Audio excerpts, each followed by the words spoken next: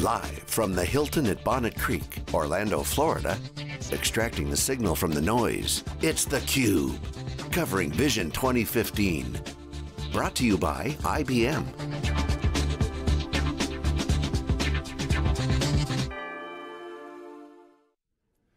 Welcome back to IBM Vision, everybody, 2015. We're here in Orlando. This is theCUBE. theCUBE is our mobile studio. We go out to the events, we extract the signal from the noise.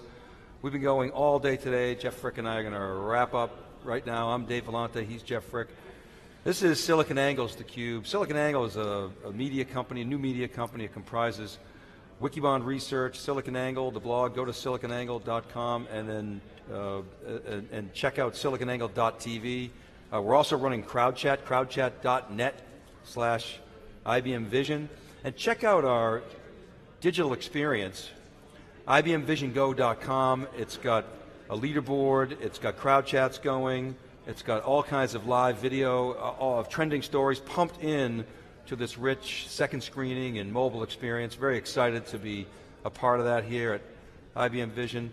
So, Jeff, good day. Um, big crowd. I mean, you know, smaller event than right, many that right. we do, but, but 500 people, packed house here at uh, the, I guess we're at the Waldorf. and uh, We're at the Hilton, the, the Hilton, Hilton Bonnet Creek, across from the across uh, from the Waldorf, from across the from the window, where we're sleeping. It's sort of window. spread out here. you Right, know. But no, I think 2,000 people. They said, right?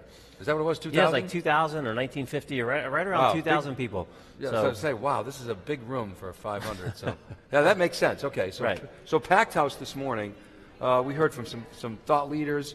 Uh, David Haas came on. He's still riding his bike. If you go to if you go to Yes, he's IBMVisionGo.com, he is still riding his bike. He's instrumented essentially. He's going to be uh, riding across America shortly, about a, uh 3,000 miles. 3,000 in- miles. in eight or nine days. Uh, and IBM is sort of doing an Internet of Things on him. He is the thing.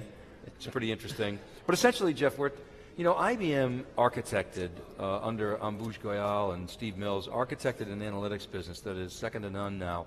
IBM bought Cognos in 2007, which started it all off. The company subsequently bought uh, you know, a number of companies, including SPSS. We were just talking uh, to Michael Curry about, you know, R uh, is a company who owns SPSS, but they're aggressively going after sort of new open source technologies. Uh, the company bought Open Pages in 2010, Clarity, Algorithmics, uh, and then Varicent, which is a sales performance management company, and a number of other sort of tuck-in acquisitions that created this, this analytics powerhouse. I mean, IBM went from nowhere in the early 2000s and then said, we are going to be number one in analytics and decision management, decision support, what everybody else is calling big data has sort of morphed into that. And they've taken the leadership role there, and it's driving a lot of business. I think you know Ginny clearly has indicated it's it's one of their you know larger growth businesses. We're talking about you know 15 plus billion dollar business under Bob Picciano. I think is the sort of figure that they've thrown about. Um, so, and we're seeing a subset of that business here at Vision. We see the superset at Insight, what used to be IOD. The subset is here at Vision, targeting CFOs, sales performance management, GRC professionals. What are your thoughts? My thoughts is that we're talking about a much broader uh, application of the data. I mean, I kind of stumbled upon this earlier in the day, but this vision of using cloud and using uh, Watson Analytics as an overlay layer on top of all the different technologies that you've talked about that they've integrated, as well as some some newer ones, and delivering the power of the analytics to the desktop of the person. I, I couldn't help but think, you know, is this Excel for big data? Is this finally the tool that's going to enable everyone sitting at their desk making individual decisions to leverage the power behind the company?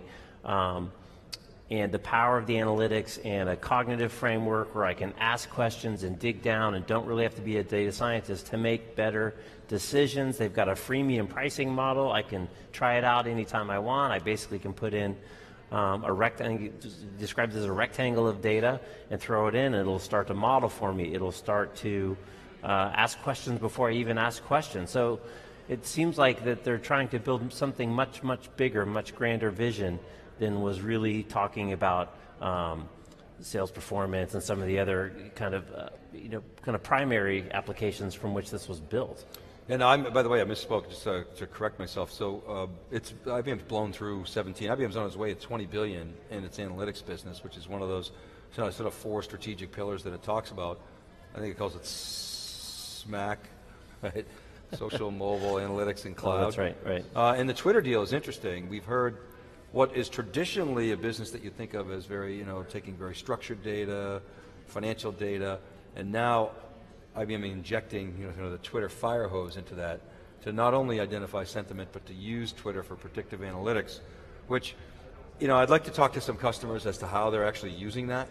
Um, I think it's early days there, we know from right. our Twitter experience, but the power of Twitter is undeniable and, and I think is really going to um, play a bigger role in these businesses.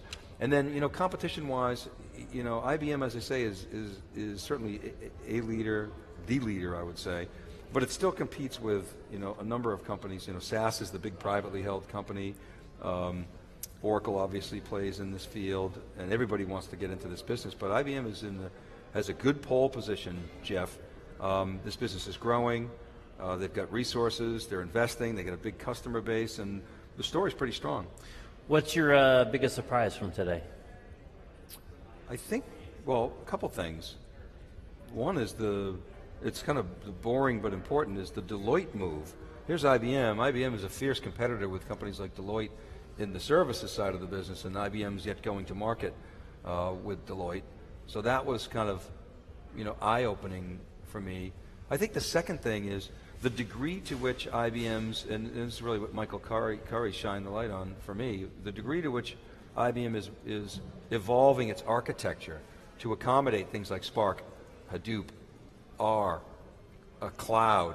You know, you think of traditionally Cognos as this sort of big sort of legacy, put it all into my box, and then build a cube and analyze it. And IBM is blowing that paradigm away, bringing in new tooling, um, new models, uh, heavily leveraging open source, modernizing the platform, and connecting, very importantly, connecting to uh, uh, other parts of the portfolio. It's interesting to note when we do, for instance, the Tableau conference, how much Tableau talks about the, you know, the old, stodgy, they certainly, you know, hit the spreadsheet hell, but they'll try to deposition the Cognoses of the world and the SASes of the world and the MicroStrategies, the guys who sort of built this business up, the traditional decision management guys. But I, I think that the counterpunch is one of the things, the, the, the effectiveness of the counterpunch is one of the things that surprised me today uh, with regard to the way IBM is incorporating these new technologies and I think leveraging its install base in a big way. That's something that the Tableaus of the world can't do right? They don't, they don't have that rich install base, those connectors to all those other pieces. Now, if I'm Christian Chabot, I'm saying, well, that's an advantage for us because it allows us to be more agile. agile. But at the same time, when you're talking about the IBM customer base, that is a, a big, big advantage, you know, for the for the incumbent. So, you know, interesting, right? right Small right. guy, nipping at the heels, growing like crazy, doing a lot with visualization. But to me, Watson is the the new secret toy. Right? The other thing, especially in the context of startups, is the number of the folks that we talked to today from the IBM team were uh, brought in via acquisition. They started their own companies, they were successful, and they got brought in via acquisition, and they're still here, which tells you that they didn't they didn't feel like they're getting caught up in a big bureaucracy, and then they're going to hang out, do their do their time and then bounce out and do the next startup. But they were almost giddy. And a number of them said, you know, we, we've got this unbelievable amount of toys that we can now play with and start to bring together in a unique way. So the fact that, that those guys who had the really innovative startups and did get brought in uh, to IBM via acquisition are still staying and see the opportunity to play with a much bigger set of toys to, to continue to deliver value along the vision that they uh, originally started out with, I think is pretty powerful. Um, that and just you know an, an, unabashed kind of embrace of things like Spark, things like Hadoop, things like open source that you might think traditionally would be a threat. You know they're kind of jumping on the bandwagon. They, they're embracing those things. They're not running away at all. All right, so big day today. We're going a half day tomorrow. Uh, check out ibmvisiongo.com. It's our digital interactive experience. Uh, you'll you'll find video there. It's optimized for mobile. You'll find uh, uh, keynote and general session presentations, the CUBE presentations. We've got the Ultra Cyclist, uh, David Haas wired up, interconnected. He, he, is the Internet of Things. Uh, he's going live. We got feeds from CrowdChat, CrowdChat platform, you know, bursting in Twitter data, leaderboards, all kinds of digital interaction. So check that out. Jeff and I will be back tomorrow. Uh, we kick off uh, with keynotes, I believe, at 8 a.m. East Coast time. So stay tuned for that. Thanks for watching, everybody. We're out. Day one, IBM Vision. This is theCUBE. We'll see you tomorrow.